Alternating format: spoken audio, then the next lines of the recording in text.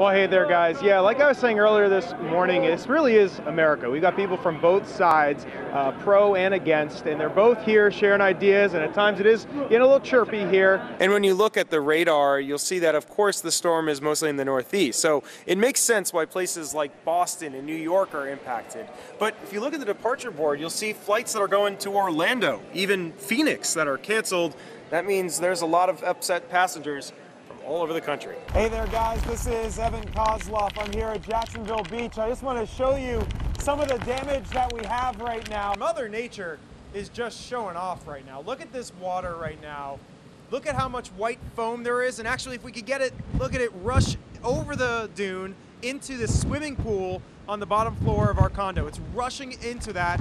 In fact, you probably can't even see the swimming pool anymore because it's just, that whole area is inundated right here we set up the, the GoPro here on this and we looked out at the waves. Uh, why don't we roll some of that video? You can see it right there. Um, yes, these waves are ferocious. Yes, they're angry, but uh, they're actually pretty beautiful as well. Plus, photojournalist Dan Petrilli and I are getting in the hockey spirit as we get ready for some postseason action. Let's see how we do. There you go. Plus, we got some yoga. Stay with us.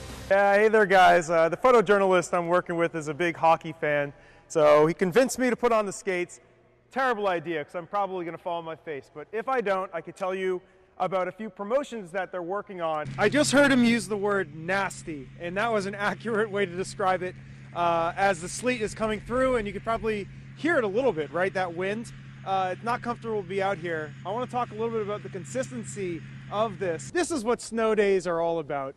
We're joined by, there it is, we're joined by Emily, Ethan, and Yana and they're 9, 13, and uh, let's, Emily, let's start with you. What, what's the snow day all about for you? Well, I'm happy that we don't have school. Okay, so yeah, I look pretty ridiculous right now, but by wearing this, I'm able to get a great view of this possible house design. In fact, just look at this video. It's all as if these countertops are right here in front of me.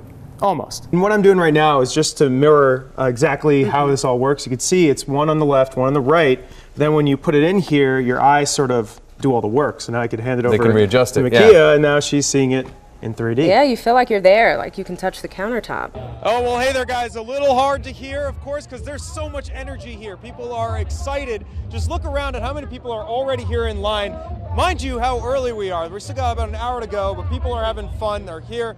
Look at that. Look over here to the left here. You got the Clydesdales that are out. Right now, why don't we show you the outside here. Um, we're going through a more residential area just to show you what it looks like. Uh, pretty quiet right now, although the roads are getting a little wet as is expected. It all started six and a half miles down that way. This is the northbound lane. So by Montgomery Village Avenue, they saw the suspected stolen car, and so a chase ensued. Six and a half miles all the way up to around here where the suspects bailed from the car. So, of course, after they bailed, the helicopter came here, police cruisers responded to the scene, and they were searching the whole area trying to find the suspects. Evan, do you have any company there? What are you doing? You're sitting in a massage chair, aren't you? Life could really be worse, guys. This is uh, pretty nice. I think it's probably the most unique live shot I've ever done. We are, of course, in Brookstone, because where else do you start your shopping but Brookstone? You take a look at some of the items they have, and it might be hard for me to continue with this live shot and get up, but uh, okay, here we go. I'm gonna get up. I'm from the Boston area, as you guys know, so snow is like a way of life for us. Uh, I've got quite a few snow hacks, but I'm learning today. You know, Americans are pretty innovative there's some things I've never heard of, which we're going to explore today. It's going to be a conversation. We're going to try them out. You can let me know whether they worked or not. I'll be trying them. You know, I guess this is sort of the place to be. It is very busy right now. Literally thousands of people are here. You can see many women with their fluffy pink hats on top and as well as the signs. And they're from all over this region. All of them have a message for those in power. Many of these young people might just be frustrated entrepreneurs who are making the best out of a bad situation. So the plan is to harness that passion and that ambition and train them to start their own businesses before they ever turn to crime. Well, this right here is the Starship Delivery Robot. It's kind of like a mix between a delivery boy and R2D2. And right now, we're at 14th Street by Ted's Bulletin, where we've got three cameras all over this thing to show you the entire delivery from beginning to end. Good morning. Just try to make it to school. Good morning. Without hearing from the face of Falls Church. Hi. Thank you very much. Just as sure as the sun rises, Janet Haynes will be there at the corner of Broad and Spring. You coming across? The 92 year old has now been there for 50 years. I'm always amazed whether it's raining, it's freezing, or snow, she's still here. Pastor Patrick Posey says she has become a town icon. But if she misses because of a sick day, the uh, school office is being inundated with phone calls. What happened? Where is she? Is she okay? Uh, that's how integral she is with our community. And so now that community is giving back. At a vocal assembly, the kids let her hear just how much they care. She's very helpful for the school, and I think that we should um, give grace to her. I like how she helps us cross the road. She is just really good. As for Haynes, This is overwhelming. I didn't expect it, but I'm enjoying it. as she should, but not for too long, because come this morning, you can expect their hero in yellow to be back in the corner. In Falls Church, Evan Koslof, WUSA 9. Matzah? This is the Matzah Man, dressed in a full body, you guessed it, matzah suit. Because Matzah Man is super excited for Passover night. And it's not just his suit. This is my Matzah mobile. This guy clearly is crazy about matzah.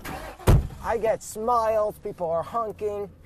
Everybody loves Matzah Man. Everybody loves the Matzah mobile. His real name is Shmuel Herzfeld. He's the rabbi for Ohev Shalom in the Shepherd Park area of Northwest. He does this every year to get people excited for the holiday. This is my Matzah chef's hat. Inside the synagogue, he shows us where they've been baking all weekend to prepare for the holiday. We take our baker's tools, we stick it in the oven, we take out the matzah when it's piping hot and fresh. And the end result is this flat, crispy, unleavened matzah. I love the holidays so much. I love Passover. I love the matzah, and I want to share my joy with the world. You don't have to be Jewish to eat matzah. Everybody loves matzah. Beautiful matzahs. And so, with the holiday just hours away, remember if you need matzah, You call the matzah man. in Northwest, Evan Koslof, WUSA 9. But there's not a part of the job that I don't like. 24 year old Taylor Pete has wanted to be a police officer for years. He graduated from the academy just two months ago. Now he's training at the Bowie Police Department. It's just a rewarding job. I mean, you know, each day's different. It's not boring. There's always something to do. But while Pete puts the uniform on, many young people are turning away from law enforcement. This is a, a national trend that we're seeing all, all throughout the law enforcement profession. Chief John Nesky says in the past they could expect 200 to 300 applicants in a class. This year, they got less than 100. It's a drastic drop, and it's something that we're seeing within different agencies when we talk to other people. But the question is why? You Nesky says a growing hostility toward police is one factor. This follows highly covered police involved shootings across the country. Another factor is increasing danger after officers have been targeted in places like Dallas, Baton Rouge, and New York City. We take some of the, the isolated incidents uh, and it gets brushed over with the gigantic paintbrush over all of law enforcement, not just what happened in one specific area or one specific incident. It kind of tarnishes the entire profession. As for new recruit Anthony Imperial, he's optimistic. It's always darkest before the dawn, so we're at our dark times now, and I know that we're going to get a lot better with the community and the relations, and I, I believe more people will apply. I think they will.